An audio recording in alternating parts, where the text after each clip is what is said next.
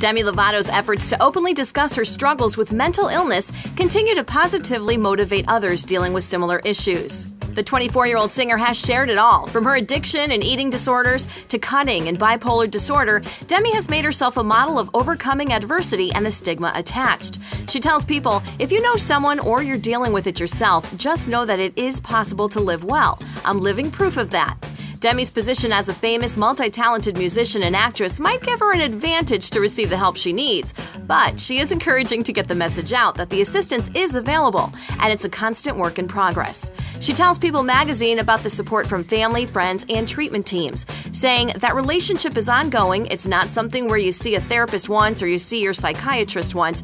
It's something you maintain to make sure that you want to live with mental illness. You have to take care of yourself.